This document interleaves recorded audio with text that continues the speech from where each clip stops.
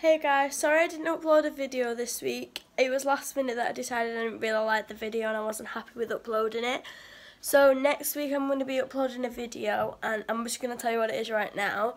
It's going to be my packed lunches for a full week, so Monday to Friday. And um, yeah, like yeah, again, sorry um, I didn't upload it. It's just like I wasn't happy with the video and it was last minute that I decided it. So like I didn't really have a backup video. So yeah, but I will be uploading next week for definite because I'm going to film it throughout the week. So on Monday to Friday, like I said. So yeah.